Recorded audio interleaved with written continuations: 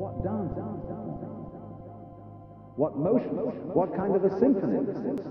Because basically, all phenomena of life are music. And uh, gold differs from lead in exactly the same way that a waltz differs from a mazurka.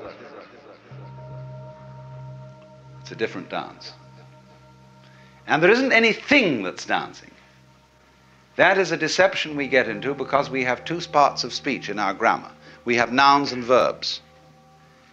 And verbs are supposed to describe the activities of nouns. And this is simply a convention of speech. You could have a language with only verbs in it. You don't need any nouns, or you could also have a language with the nouns only and no verbs. And uh, it would uh, perfectly adequately describe what's going on in the world. So if you were used to speaking with a, part, with a language that had one part of speech, uh, you could say just as much as we can with two and be a lot clearer. Only at first it would sound awkward, but you'd soon get used to it. And then when you got used to it, it would be a matter of common sense that the patterning of the world is not some kind of stuff that's patterning. You don't have to seek for a substance underlying the whole thing, it's just patterning. And we're all that. And wherever you see patterning, you will see the principle that big fleas have little fleas upon their backs to bite them, little fleas have lesser fleas, and so ad infinitum. And then you reverse the process, see? Little fleas, in, infinite, infinitely little fleas, are always on the back of bigger fleas. And those bigger fleas are on the back of still bigger ones. And those bigger fleas on the back of still more whopping fleas, you see? It goes the other way too. And so, in this way, uh, there is to a person who really wakes up, you very soon realize that your existence is not something that is just uh, the uh, hopeless little creature that's suddenly confronted with a great big external world that goes gah at him, you know, and eats him up. Every tiniest little thing that comes into being, every minute little fruit fly or gnat or bacterium, I will go so far as to say is an event upon which this whole cosmos depends. This thing goes both ways. It's not only that every little organism which exists depends on its total environment, the reverse is also true that the total environment depends on each and every one of those little organisms. So that you could say this universe consists of a, an arrangement of pattern in which every event is essential to the whole thing.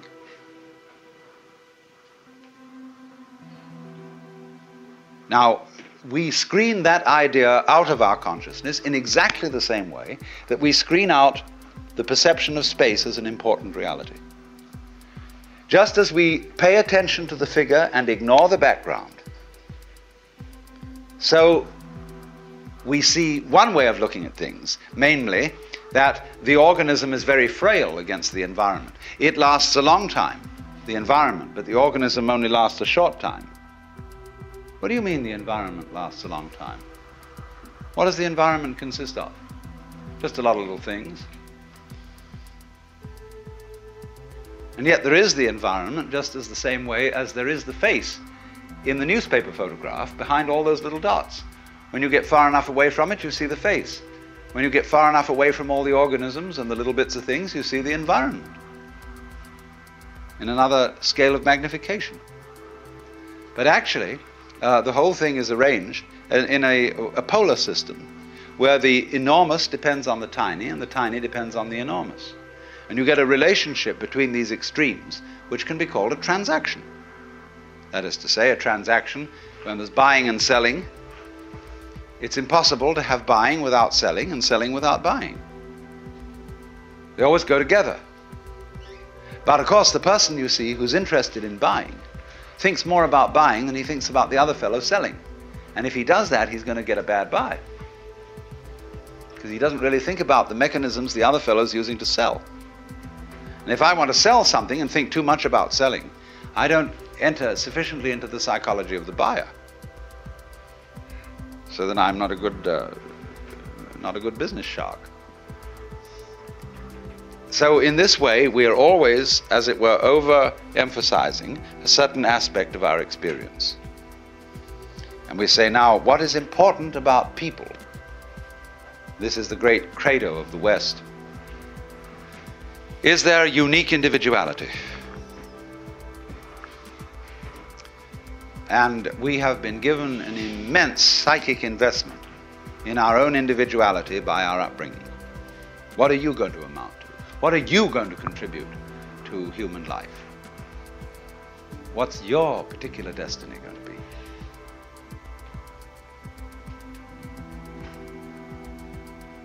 Fine idea. But the thing we don't understand is that it won't work, this great idea, without being balanced with its opposite.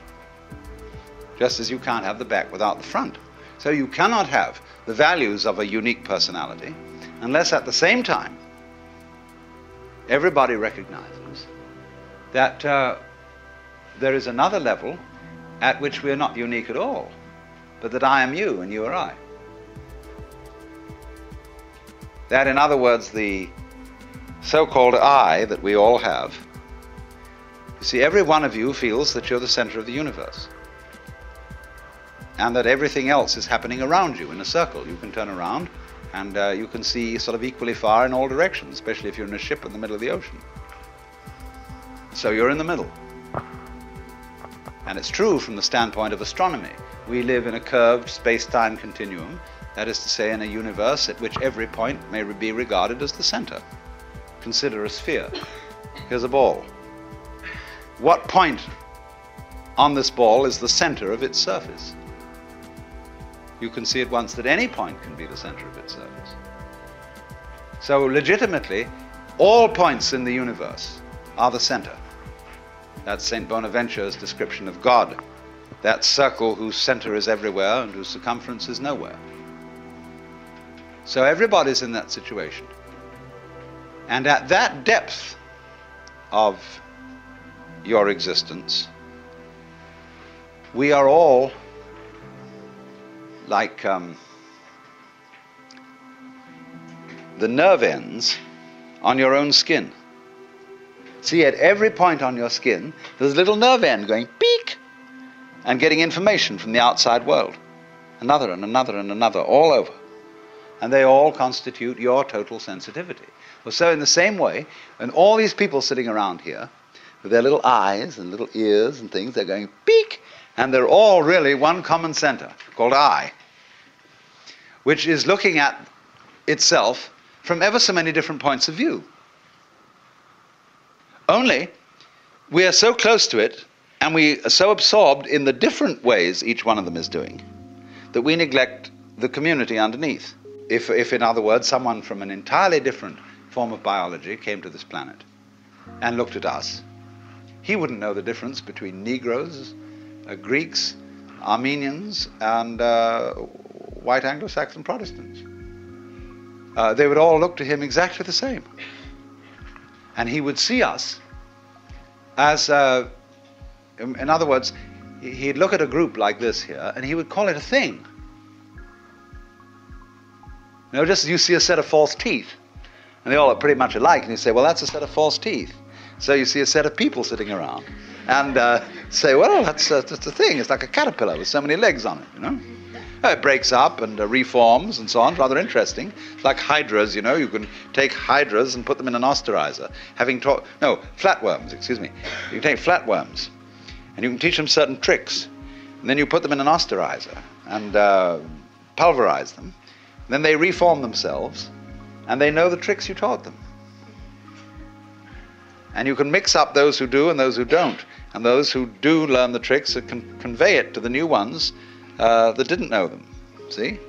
So that maybe one day we can um, get some DNA from uh, genius people and feed it to people who don't know anything, and immediately they learn these tricks.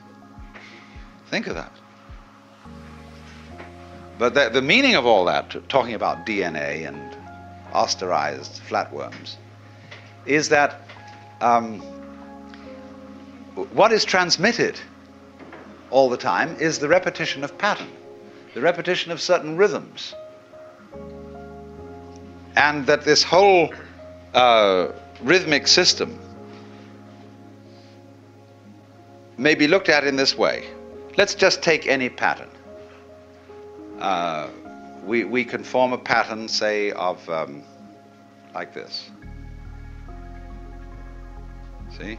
I make a kind of a loop end, a loop-ended cross in the air. Now, let's consider what is the problem involved in analyzing that pattern into smaller parts. Uh, shall I say each one of these loops is a part, there are four parts, therefore, to the pattern. Well, where does a loop begin and end? Just excuse me, let's look at it another way. I could say that not this was a part, but this was a part of the pattern. And were four of those. Uh, you should all study, incidentally, the drawings of a great Dutch artist by the name of Escher, whose uh, work appeared a little while ago in the Scientific American. But he has a book of the most fantastic patterns, where you will see, for example, an arrangement of devils and when you look at the background, it's an arrangement of angels. That everything goes with its counterpoint. So that when you look at one of Escher's pictures, you don't know which is the foreground and which is the background. You just flip, flip, flip, flip, flip, and you can have it either way. Well, everything's like that. Only because, as I said, we are fascinated with what we have at the moment selected as the foreground. We say for! Foreground, it comes before, it's important. That's what's there, the background. Oh, that's just background, you see? Supposing you suddenly do a flip on that, you realize the foreground, yeah, it's kind of close, but as we say of people, you could only see the trees, you can't see the forest. Like businessmen who say they're very practical, but they're very short sighted and don't know what's good for them put themselves out of their business regularly, so they have to start wars in order to carry on business. And, uh, you know, that's stupid. So you, you always, wherever you are looking at the general panorama of sensory experience, try switching. Try shifting your attention to all the things you thought were unimportant, to the constants, to the background. and begin looking at the spaces between people. Uh, all painters have to learn this. Because, especially if you're working in oils, you actually have to paint in the background. Weavers know this because when they're making patterns in weaving, they've got to weave the background as well. Or if you do needlepoint with embroidery, think of the hours you spend putting in the background over the canvas in wool. And you become aware of it. Same way the people who made the, the great oriental carpets. They're much more aware of the background as constituting an essential part of the total experience. So, as you uh, become aware of this, you see the same thing that you notice in music, namely that it is only as a result of hearing the interval between tones that you hear any melody. If you don't hear the interval, you're tone deaf and all notes are the same noise. All you hear is rhythm. You don't hear any melody. You've got to hear the interval. So then watch the intervals between people. The things that aren't said, the things that are tacit, the things that are implicit rather than explicit in all life. And then you begin to get um, connected. You know, it's very important to have a connection in life. And um, to be in the know. And uh, this is the way it, it, it fundamentally comes out of seeing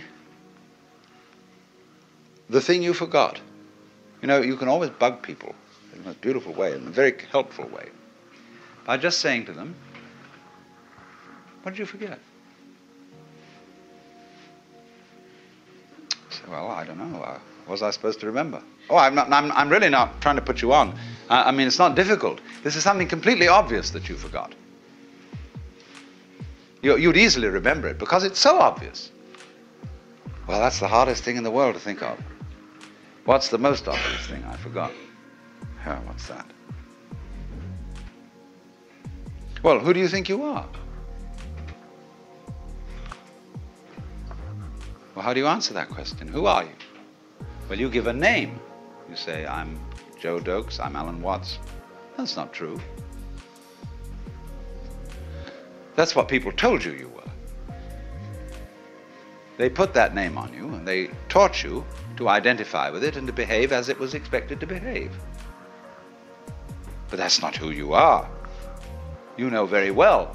Go back in your memory. Go back into your infancy before they started telling you all this stuff. Who are you? And if you get with that, you'll know uh, very well who you are. The jolly old ancient of days. Only there's a conspiracy that you mustn't let on about that. Because everybody is. And uh, if one person realizes it, the other's a little bit offended.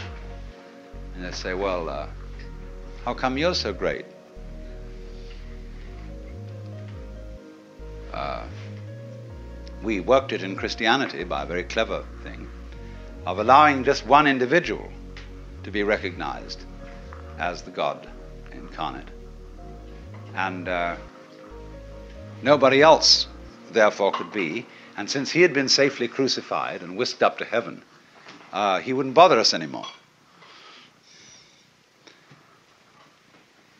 So, everybody, therefore, who gets an intimation of who they really are and ever comes out with it in Christian civilization, people say, Who the hell do you think you are? You Jesus Christ?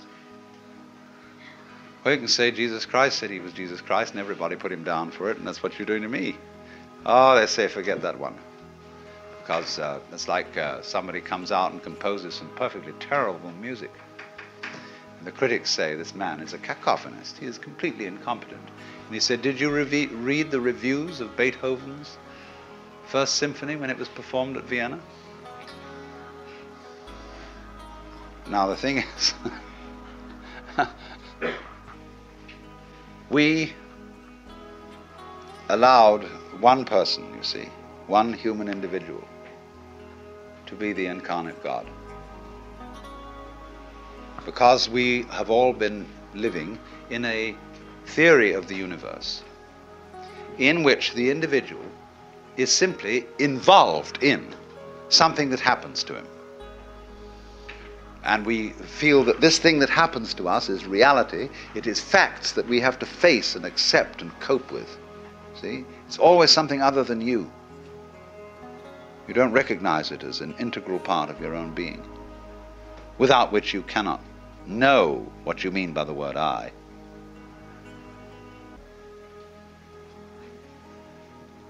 But in the truth of the matter is, though, that if uh, you will face it out, every single one of us knows that that isn't true. There is a, an, as it were, a recess of the soul, of the psyche, where everybody knows perfectly well that you are not just this irresponsible little mouse that's been chucked down into this world, but that you are really doing this work. You're running it. Only you can't admit it just in the same way as you can't admit that you're responsible for the way your own heart beats. You say, oh, that's not my doing. I've no control over my heart. Do you have any control over being conscious? Do you know how you will? And you say, I intend to take my hand down from my face and put it on my leg. I can do that, but I don't know how the hell it's done. So that what we mean by the capacity of voluntary control in the ordinary sense of the word is, is that we don't understand it at all. So you might say, in, in a funny backwards way, that the only kind of control you really understand is that where you're not using your will. Because you just do it. So easy, like you open and close your hand. You know how to do it? Sure, you know how to do it. But you can't put it into words and explain to someone how to do it. You say, well, come on, aren't you human? Don't you know how to open and close your hand? Just do it, silly. But we don't realize, you see, that just as we know how to do this, we know equally well how to turn the sun into light, how to blue the sky, how to blow the wind, how to wave the, the ocean, how to um, digest food, and um, I might add, to be digested by bacteria and transformed. As we transform our steaks, uh, we will in turn be transformed. Uh, but the um, pattern keeps going. And it's always you. Only you see, you have this marvelous capacity to transform yourself without knowing that you're doing it. Therefore, you keep surprising yourself. And therefore, you keep on doing it. Because if you didn't surprise yourself, you wouldn't go, you wouldn't go on doing it. It's just the very fact, you see, that you seem to be the victims of a thing you don't understand, and that you seem to conclude your life every time in a wipeout called death, where all your control goes, is just exactly that opposite condition to what you call being alive that allows you to be alive. Only every time it happens, it's like it's new. It's like every time you're born, it seems like it was the only time. But of course, if it wasn't like that, you wouldn't do it.